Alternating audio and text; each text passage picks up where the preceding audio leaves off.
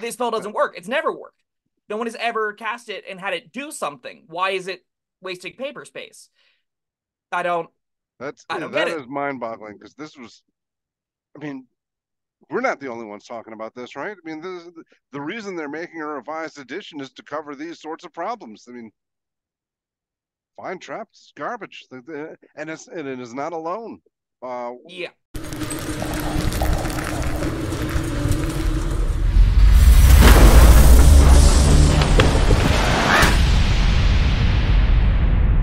Friends. Robert Bevan here, author of the Caverns and Creatures series of comedy, fantasy novels, and short stories. With me is Sam West, and today we are going to be talking about the new, revised, uh, 2024 Player's Handbook. Hooray! It's Huzzah. finally here. Yeah, it's been a long wait, but we finally got copies in our hands, and they are. It's uh, but we got thoughts, we got appealing feelings and opinions. Uh, you're going to see lots of us talking about all of these changes in depth. I'm sure on this channel as the weeks go by. But this is kind of like overall impressions, favorite things, not favorite things, things we wish changed, things that we wish didn't. You know, those are the kind of goal of this video. Yeah. Uh, Uh, you got some opening thoughts? Have you had Yeah. time to go through it all? Sure. I think uh way to start, I do want to say I like most of the update. I don't think it's enough. That's where I've been since they announced they were doing like this halvesies, you can backwards compatible idea of, oh, you can still use all the old stuff, it'll be perfectly fine. That's not universally true. True, and there still isn't a clean transition between a lot of the stuff that they were like moving towards in this edition and where we landed. But I do think, while I'm going to complain a lot, um, I would say I would rather play this edition than five as it stands. So I do think this is like a meaningful upgrade that does more improve the game. And I there's a lot of discourse that is fairly against this edition. Um, I don't think it's worse. I think it's usually just a little bit better. And I do think it'll be a pretty easy transition for a lot of players to make. So if you're on the fence as to whether or not you should try this out, you can try little bits of it out. You can take what you like. You can play with it a bit. And if you're starting a campaign from fresh, I would recommend just use the subclasses in this book, use the rules in it. I think you'll have a better time than if you just use like the old 2014 PHB, right? 2012, whenever it was. Um, yeah. What about you? I mean, I, I like a lot of the changes they made, um, especially you know with some of the subclasses. I, I'm you say they didn't go far enough. I'm kind of glad because this isn't a new edition. This is a revised edition, and so uh, I like that it aims to be backwards compatible, and uh, it's it's not the changes aren't too jarring for me to feel like I'm I'm playing a different version. That's fair. I think that that audience is who they wanted to hit, right? They wanted people that already bought into the game to be able to keep to be able to like very easily adjust to an updated system.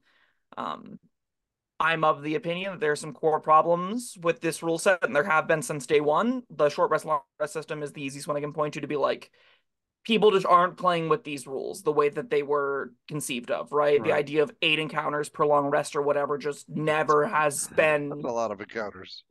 like even the adventure modules don't have that many encounters between rests, right? And those are supposed to be the books that show you how to play the game. So like they're this does make some adjustments like band-aids on that system. This does help things like monk, this helps things like warlock with their short rest mechanics get a little bit more stuff. It doesn't fix the core problem and it keeps us a little bit it, it feels like we've been other systems have passed this in terms of you know innovation the pathfinder 2 3 action system is a a really clean easy design that felt like the next evolution of this kind of game system this system not adopting three action and just staying the action bonus action reaction object interaction real awkward clunkiness that hurts. I would have loved to see this move to three action. I would have loved to see this move to long rest and encounter powers maybe come back. Maybe we get the idea that you can do this thing when you roll initiative. You get your ki points back. We see monk features kind of do that. They kind of dip their toes into these big system overhauls gave them here and there as little band-aids but i don't know. I think we could have still kept people on board with system over system overhauls that make this a better cohesive idea that make the game easier to play and easier to DM. Um, but we didn't get that. Instead, we got no. The fifth edition combat's more or less exactly the same. Um, but we've cleaned up a lot of it, which you know, that's what we got. And I think I have to live with that. Yeah. Uh, well, may- maybe in uh 6E we'll we'll get these changes. Nope, this is it. They've just already they've declared this is the last edition of Dungeons and Dragons and that they're going to update this forever. So hypothetically, this is just going to get like in 20 years it's going to get another patch like this. It's going to be like, "Oh, this is 5.40 and it's the next update to 5th edition." Which is the next they, update they declare a lot. I'll uh, yeah, uh, I'm not I'm not taking that to the bank. Yeah, I I wouldn't invest in that idea either. And five years, we might see them completely go back and be like, actually, this was kind of a crap decision. We are making a new system. Yeah. Who knows?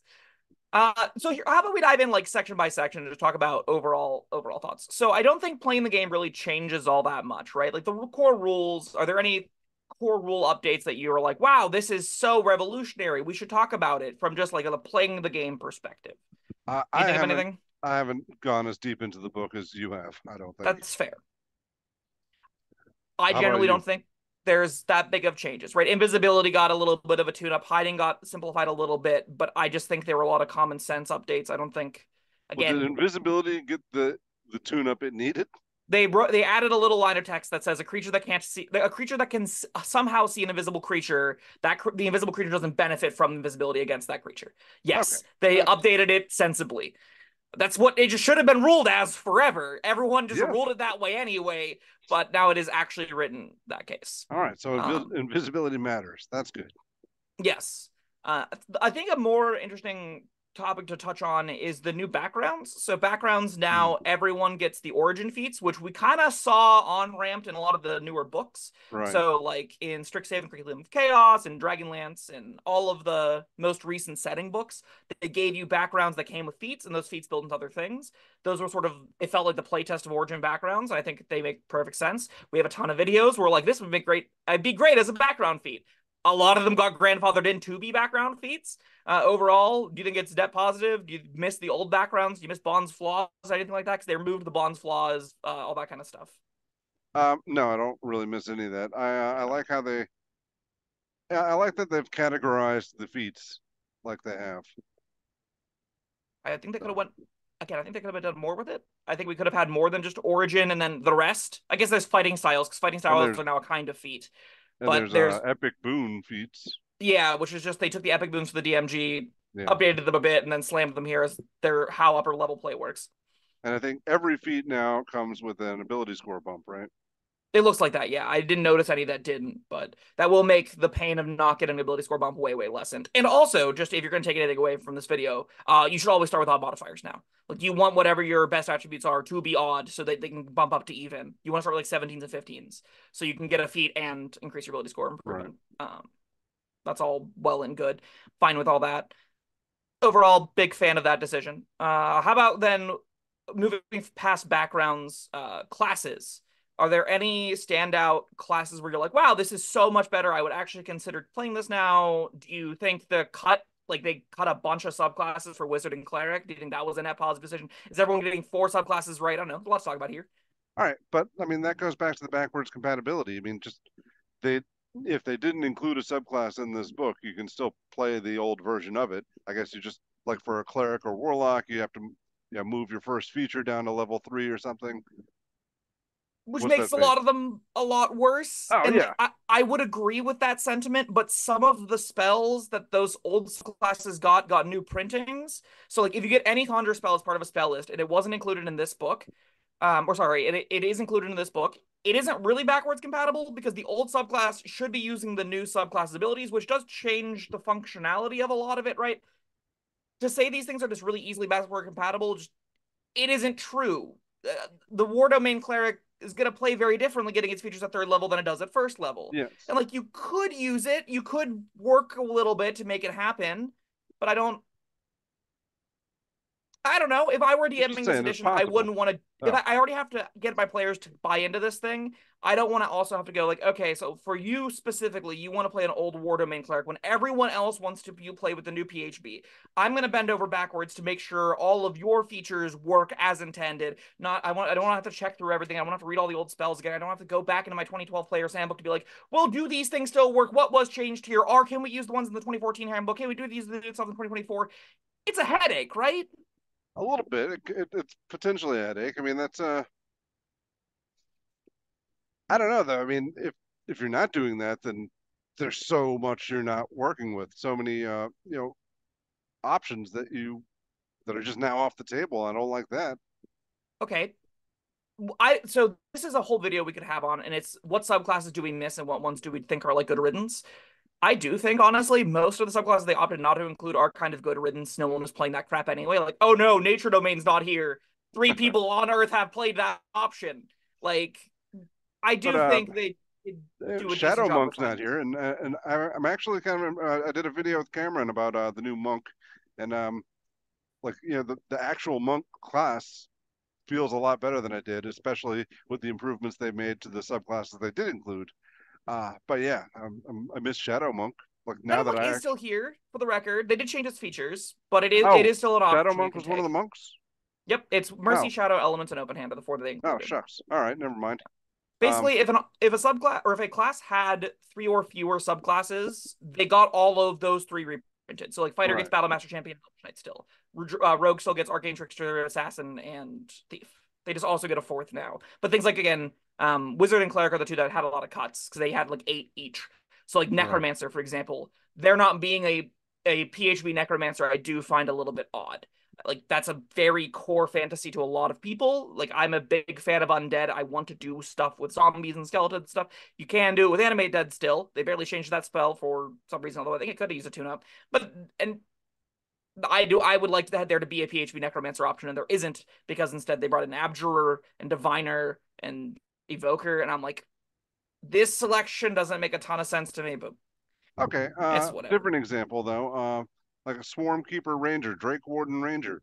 Like those are like two really big, um, you know, uh, archetypes that you know, good Ranger archetypes that I I might want to play. Yeah. I mean, so that at least that option is all at third level and uses mainly stuff from Tasha's. So basically, anything that used stuff from Tasha's and the the more recent books, there is better backwards compatibility for those, right? It's a little bit easier to get the th- level features at third level. Like those Mhm. subclasses are a little bit easier to on ramp. I still would be a little bit like, well, we have to still check all the spell lists, uh, but it's those ones are a little bit more permissible to me. I do wish they were in this book instead of like Hunter. Hunter probably could have got cut, right? I Like, like they could. Like, yeah, but what if you just baked Hunter's features into base Ranger? Yeah. Right? Like, I think there were probably better ways to do that, especially if they wanted to sell Ranger as an actual more magical, more magical class. Like Paladins got to be a more magical class with the first level spell slots and stuff. There's probably a way they could have done that. Yeah. Eh, I don't know. For it, it, there's pros and cons to it. I think mm, uh, more often than not, though, it, the system is benefiting from everyone getting four subclasses and them all being some of the more popular ones. Um, And I do ones- believe uh, there will be more subclasses Yeah, sure. in the future. for sure. I will be really, really, really annoyed if we get a book that is just Tasha's Cauldron of Everything too, and they just take all the subclasses from Tasha's Cauldron of Everything, barely touch them, and put them in the new edition. I'll be irate, and I have a real hunch that kind of thing is coming. Yeah. So, like, um, one of my big complaints about all these subclasses is a lot of them read exactly the same and don't have meaningful upgrades, like meaningful updates to be in this new system, this new version of fifth edition, and they they should have. Like I think Great or Fiend Warlock to me, they t- tuned it up a bit, so now you can get your temporary HP whenever something within five feet of you dies if your Mhm. ally killed it. Uh, that's not good enough. That doesn't fix that option's problems. They should have given some meaningful reworks. Like I would say, like uh the Warlock, the Archfey Patron. That's a meaningful rework. There should have been more of those. Yeah. Champion didn't get meaningfully reworked in a way that it needed to. Battlemaster has a lot of features that are still crap, even though it gets, you know, the, its list of cool maneuvers. There should have been better fixes in here for a lot of these options. They just let be. Like we can move into spells. We're going to Well, be talking about this say the shortly. same thing about spells. The uh, I was unimpressed with a lot of the changes they failed to make. Yeah, I am baffled that they released so many non-functional spells still. Like they could have just removed them from the book and saved printing, and Or no one would have missed them. them. I would have been an I would rather them not be here than be here in this state, is where I'm at, right? Like Yeah. Find Traps is the obvious one that like, oh, they just didn't update it. It's just exact this spell doesn't work. It's never worked. No one has ever cast it and had it do something. Why is it wasting paper space? I don't. That's I don't that is mind-boggling because this was. I mean, we're not the only ones talking about this, right? I mean, this, the reason they're making a revised edition is to cover these sorts of problems. I mean, Find Traps is garbage, and it's and it is not alone. Uh, Yeah. we're that's another video I think we're gonna do is uh, you know, spells that uh needed to be upgraded. I mean, we'll have a whole weren't. video. Yeah. Yeah, I again, we'll go dive into it on a, separate video and talk some specifics because I think it's worth talking about in more specifics. But it, it's definitely a big miss. What do you think about the feat nerfs? So we saw sharpshooters no longer getting plus ten damage, great weapon masters no longer getting plus ten damage. Lucky has been entirely reworked, thank God. Um, Uh, these You are care? You know, I, I I miss sharpshooter, but um, it's probably better for the game, and and it and it's like now you don't feel like you have to get sharpshooter or great weapon master, and you you you can go a different way and not feel like you're missing out on something that is, going to cripple you for not having. yeah, I definitely think they m- did a better job making all the feats seem a bit more appealing. Mhm. and that's particularly good for the casters. There, it is definitely going to now be this game is better for casters than it's ever been, though, right? Given that there aren't these hugely powerful build around feats like Sharpshooter and Weapon Master doing busloads of damage, we are going to see the full casters who didn't get nerfed at all get a lot more play, right? Like they're just going to feel even more, there's going to be even a wider disparity, I think, in the upper tiers than there already was. That's my guess, at least. I haven't played uh, the system, the upper tiers yet, but that's what it looks like, right? Yeah, that's a good point. It'll be better for low tier tables. It'll be better for tables where you have one optimizer and a bunch of non optimizers, right? Somebody that Mhm. wants to try and do the big busted stuff. They're going to be worse with crossbucks than they were before. They're going to be worse with, you know, all the little feats that got some changes. Um, they're not going to be like running the table at third level because the variant human's no longer a thing and origin feats sort of fixed a lot of those problems, but it is still going to. It's the not giving like I would have rather have seen the powerful feats like Great Weapon Master and Sharpshooter, their damage bumps. I'd love to see them as feats that you needed a prereq for. Like I would love, love Yeah. if there was something after Sharpshooter that was you can forgo attacks to a boatload of damage, something, right? Mhm. Like if you once per turn, if you hit, if you could attack again, instead you can double this thing's damage. Give me some kind of cool build around high damage feats that martials have a better chance of competing in the upper tiers.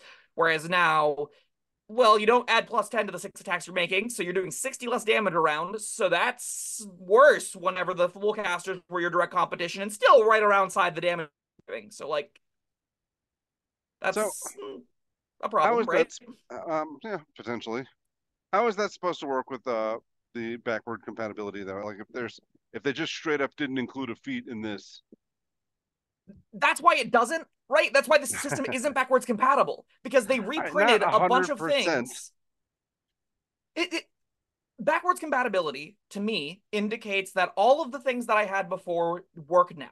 That just isn't true, right? I can't have Conjure Woodland Beings anymore because there's a new Conjure Woodland Beings. Some of the Right. biggest drama that happened recently was D&D Beyond is auto updating all of the 5th edition spells that got updated to have the new text. So Conjure Minor Elementals doesn't function the way it used to. Good riddance. Like Conjure Animals should not work the way that it did in 5th edition. Yeah. That is not an okay spell, right?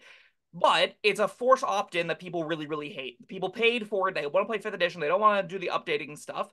And now they are forced to when they were told they wouldn't have to. The only reason the platform really exists is to give people the toolbox. You you subscribe, you get the content that you want. You can use whatever content you want. Well, now you don't get to use whatever content you want. Now you have to use whatever the most modern stuff is. People hate that. But Yeah. that is to say that these spells, if you have a person that goes, "Oh, I only know fifth edition, can I just bring my warlock?" and you can go, sure, bring your warlock. And they come in and they're like, well, I have these specific set of feats. I'm doing these blaster things, this sorcerer split. I have twin spell, or even like, yeah, a sorcerer coming with the old twin spell. That character is going to do very busted things in a system that printed a new twin spell. So are Mhm. they forced to update? Is it backwards compatible? Does that character get to exist? Can you have old twin spell alongside new twin spell? Technically, yes but it doesn't look good. It doesn't play well. There's going to be frustrations and conflicts and messiness. I don't. It defeats embody that to a higher degree, right? Like uh, you're not gonna. I don't think it's gonna be an easy conversation to say with a player. Well, the old Great Weapon Master was just better, so I'm gonna use that, right? yes. Like, how do you have that conversation with the DM with the player? Now you go, well, I just want to use the new stuff. And they go, well, they said it was backwards compatible. Can I just use the old stuff? Like, I've been playing this barbarian for you know eight levels or whatever. I've had Great Weapon Master. Why can't I just keep my Great Weapon Master? And you go, well, they changed it for a reason. Yeah. And it's a little bit uncomfortable and awkward now, right? Oh well, yeah, yes, but I mean, if if you're gonna if you're gonna use this system, then uh, I think, I mean, I guess you can cherry pick which ones you want if everybody at the table agrees on it. But I think, yeah. you know, the the backward compatibility is if it has the same name, you replace it. But what I'm saying is, if it doesn't, if if there if the if the feat doesn't exist in the, in the new book, you know, is it still on the table? I I don't like I don't know what a good answer to that question is. Yeah, well, right? a lot of the feed... a definitive one yet. Yeah, I also think that like so there's an example Great Weapon or not Great Weapon fighting got nerfed. I have no idea why, but that specific fighting style is worse now. So instead of re-rolling ones or twos and keeping the result, you now turn ones and twos into threes, which is just a downgrade, right? Yeah. Like your average damage is substantially worse on what is already one of the worst fighting styles. Now, I, me as a DM, I'm aware that that nerf seems unjustified. I my default gut reaction is to say, "Oh no, just use the old one." The fact that that conversation is happening at all in my head is a problem because if I have to know both systems to make a competent game, there's a problem. And this is a first impression, right? This is we've gone through this book once or twice. I have not DM'd in this for very long. Like there isn't a ton of faith right now in that I can just use this and won't have any issues. I'm going to fall back and have a messy in between system. I imagine that's going to lead to a lot of people going from game to game, going from DM to DM. The rules are going to be a mess, right? Yes. like, oh, I'm playing, I've been handpicking these 10 old things from 5th edition using most of the new rules from the, the 2024 D&D mixing them together and then you go to play with different people and they've got a different subselection of rules that they're playing with. They're using different older features that are grandfathered in well these select six feats are fine. We can use old lucky and old sharpshooter old great weapon master because we need those we need the martials to keep up with the full casters. That might be one table and the other table is like no absolutely not. Those are super super busted but we do want to make sure that you know the old updated spells are still good. Conjure elementals is one of my favorite things to do in old fifth edition. That's still allowed. There's gonna be problems right? Yeah well that's uh, i mean people people have always played uh, different ways. Every every table has its own way of playing, and that's uh, just going to get more messy now. But uh, exacerbating that problem is bad, right? Yeah, I guess so. Um, I don't know. All things considered, I do think this. If you, if I were to start playing this edition, I would want a fresh campaign, and I want to dive in with just this book. I would just right. say the player's handbook, the the 20 or the what is it 40 subclasses in it that's what's on the table the spells in it that's what's on the table. We will learn this new content first. There's plenty to explore. You don't need to dive into Tasha's. You don't need Drake Warden right now. Please just use these is what I would have yeah. my I would pitch to my players. I would advocate people try it as well because it's it's a pseudo new system. It's it'll probably be better for everyone for that. We'll yeah, make a video on updating old campaigns and, uh, and it like if you want to use a, the, a subclass that's not included here now you're encouraged to try something a little outside your comfort zone, and that's good too. Fair. Um, yeah, all things considered, I do think this book is an improvement. I know I just poo-pooed on it a lot. Um, I think I think on average they fixed a lot of the problems I had with subclasses, and we'll touch on it in a subclass by subclass video. But I'm gonna give the system a tentative thumbs ish up. Like it's fine. I wish it was more. I wish it was different, but it's what we got, and it's fine. It, it should be fun. I'm excited to play with it. I like uh, going back uh, to the book itself. I like some of the art in there. It's uh, they've got uh, some neat fantasy things and meta things with like fantasy characters actually rolling dice and stuff. That's pretty cool. I have a few nitpicks on art, namely that Delina Wildmage from Magic the Gathering, that exact art got into this book, and that make that makes me irate when they reuse art. But I think that's a personal grievance, not a real actual problem. So most of the art here is agreed phenomenal. Um, all right. Well, I guess that's our video, huh? Yeah, sure. First impressions yeah. of the new 2024 PHB. All right, we got some some fun things to look forward to. Hmm. All right, thank you, Sam, for being here, and thank you everyone for watching. Let us know uh, you're gonna have some thoughts. Let us know what they are down in the comments section below. Uh, like and subscribe, and stay tuned for more stuff as we dive into this new system. Uh, goodbye.